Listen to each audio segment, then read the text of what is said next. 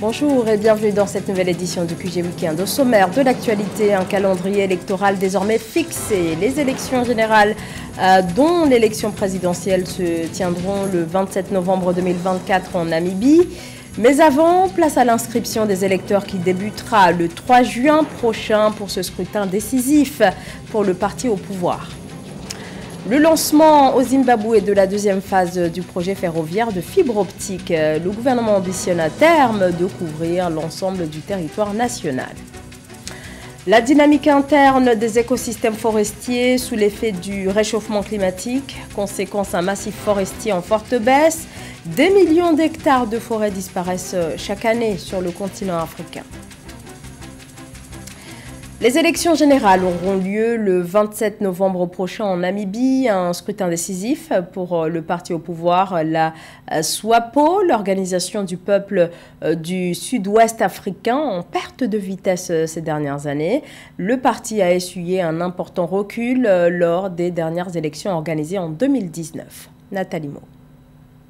Les élections générales auront lieu le 27 novembre 2024 en Namibie. La date prévue du scrutin a été rendue publique à l'occasion du lancement du calendrier électoral annuel le 7 mars 2024 par la Commission électorale nationale indépendante le CN. L'organe électoral namibien a également confirmé le retour des bulletins de vote à ces élections. Alors que le CN envisageait de migrer vers l'utilisation des machines à voter, la Cour suprême a rendu un arrêt contre en 2020. En tant que commission, on nous pose souvent des questions sur la méthodologie de vote qui sera utilisée lors des prochaines élections. Et j'ai tiens à vous informer que la commission utilisera des bulletins de vote manuels des méthodes de vote conventionnelles lors des prochaines élections présidentielles et législatives en 2024 et des élections régionales et locales en 2025. L'enjeu de ces élections repose sur la participation de l'électorat au vote, avec 60,8% des électeurs inscrits qui se sont présentés pour voter lors des élections présidentielles et législatives de 2019 contre 80% cinq ans plus tôt. Le CN a l'ambition de sensibiliser les Namibiens au droit de vote. Pour l'organe électoral, le scrutin sera un test de démocratie pour le pays, gouverné par la SWAPO, parti au pouvoir depuis 1990. Rappelons que le droit de vote est un droit fondamental qui doit être invoqué et protégé. Ensemble, nous pouvons garantir que nos élections soient libres, équitables, transparentes et crédibles. En Namibie, les électeurs sont appelés à s'inscrire sur les listes entre le 3 juin et le 1er août 2024. Le 16 octobre, la liste définitive des candidats aux élections générales devrait être connue, a indiqué le CN. Le vote des Namibiens de l'étranger se tiendra le 13 novembre 2024, soit 14 jours avant le déroulement des élections générales sur le territoire national. Le Zimbabwe lance la seconde phase euh, du projet de fibre optique ferroviaire. Objectif améliorer la couverture à haut débit dans ce pays où à peine 35% euh, des habitants ont accès à, Internet. L'accès reste donc un défi, un sujet qui se trouve au cœur du programme gouvernemental de développement du Zimbabwe, axé notamment sur la transformation numérique. Nathalie Mo. Le président Emerson Mnangagwa a inauguré le premier projet de fibre optique ferroviaire au Zimbabwe. Le 7 mars 2024, le pays d'Afrique australe a fait un pas dans la modernisation de son réseau ferré dans le but de renforcer l'intégration régionale à travers l'amélioration des voies de transport. La National Highway of Zimbabwe a ainsi procédé à la pose de câbles souterrains permettant au pays d'entrer dans la quatrième révolution industrielle. Le plan directeur Smart Zimbabwe 2030 est défini pour nous voir réaliser des sociétés plus créatives grâce à l'utilisation de la technologie. La qualité de vie de tous nos citoyens devrait s'améliorer grâce à l'utilisation de l'information et technologies de communication. Les technologies numériques doivent aller au-delà de l'utilisation des TIC pour les médias sociaux et le divertissement. Nous devons utiliser l'infrastructure que mon gouvernement met en place pour améliorer la prestation de services les domaines de la santé, de l'éducation et l'agriculture, entre autres aspects.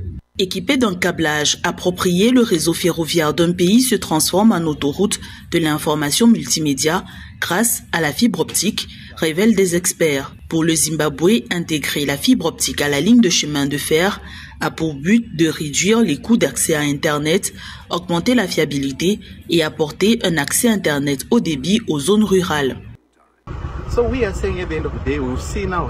Nous disons qu'en fin de compte, nous aurons désormais une connectivité au sein de nos gares et au sein de nos communautés voisines. On constate également que les écoles sont connectées ainsi que les hôpitaux.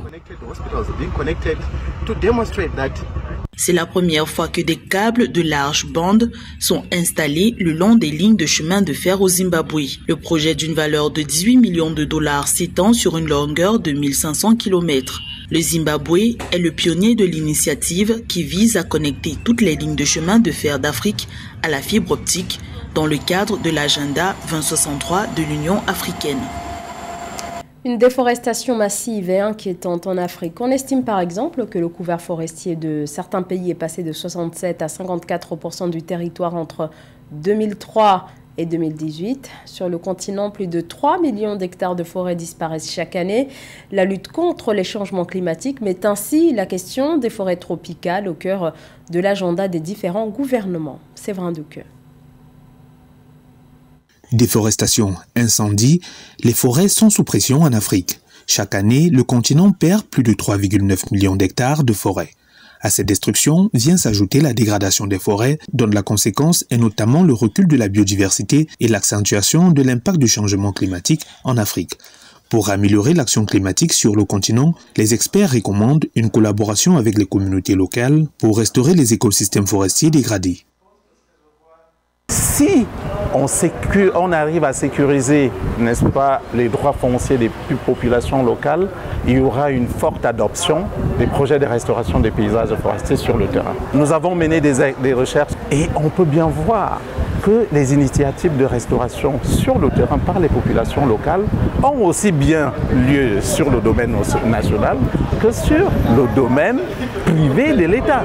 Donc les gens ils travaillent sur la base de leurs droits coutumiers et, sur la base de ces droits coutumiers, ils peuvent hésiter à certains moments à planter les arbres sur un domaine où ils n'ont pas forcément, euh, n'est-ce pas, tous les droits nécessaires. Il reste aujourd'hui peu de terres libres sur la planète.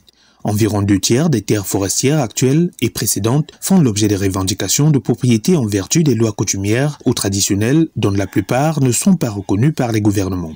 Si la restauration des forêts est un impératif pour la séquestration du carbone, cette solution, de l'avis de certains experts, ne peut fonctionner que si les espaces restaurés respectent et complètent les besoins et droits fonciers coutumiers des populations locales. Ceci afin de trouver un équilibre entre l'enjeu écologique de la planète et les besoins socio-économiques des populations locales.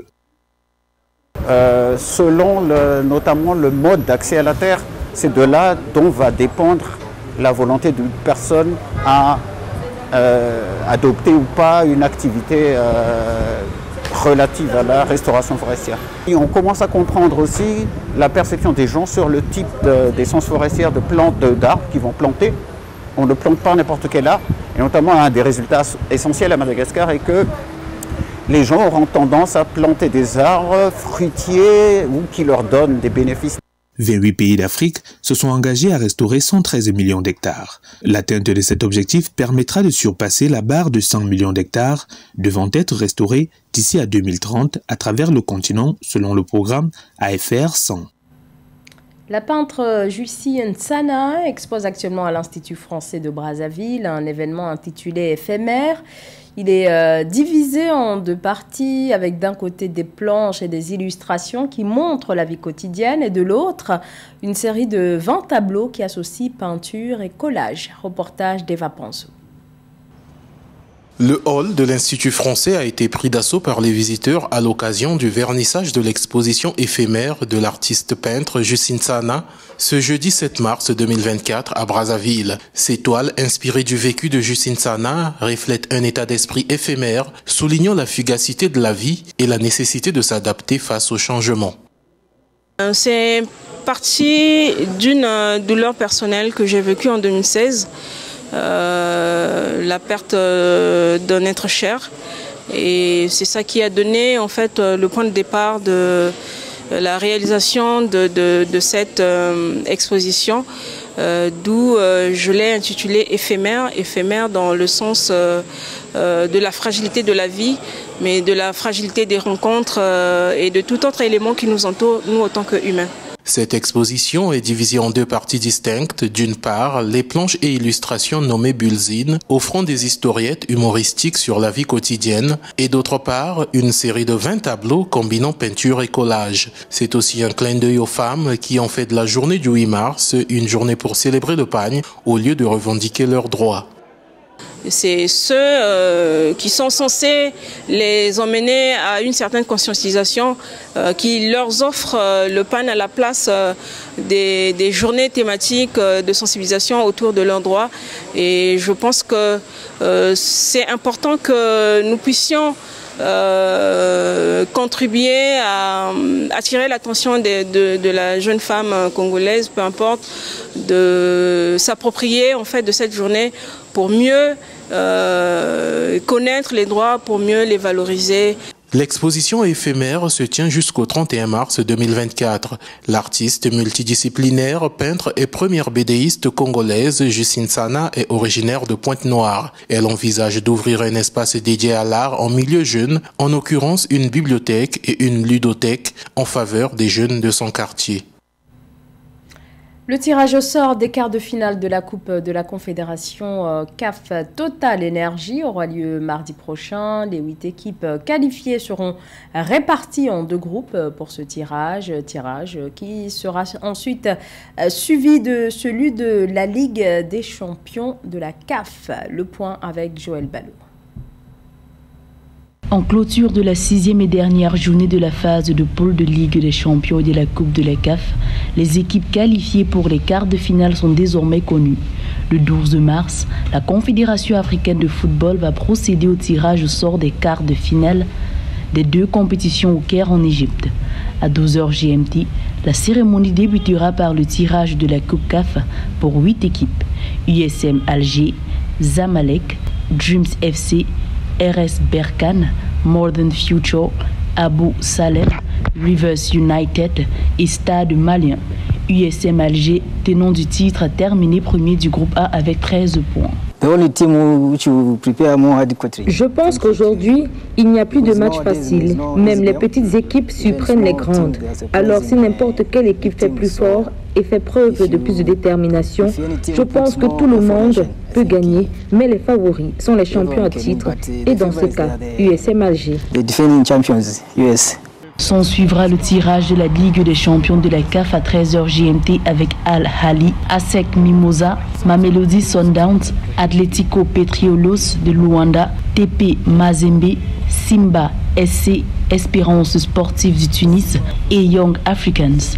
A noter que Al Hali tenant du titre, termine en tête du groupe D avec 12 points et reste donc en course pour sa propre succession. Je crois que le niveau de cohérence et de la constance dans la performance va beaucoup jouer pour chaque équipe. Il faudra voir comment les différentes équipes se comporteront et bien sûr, il faudra les battre les unes après les autres. La course pour le sacre final est définitivement lancée entre les 8 meilleurs clubs du continent dans chaque compétition. Les matchs allés des quarts de finale auront lieu les 29 et 30 mars, tandis que les secondes manches auront lieu les 5 et 6 avril. le journal de la rédaction. Merci à vous tous de nous avoir suivis. Restez avec nous sur Africa 24.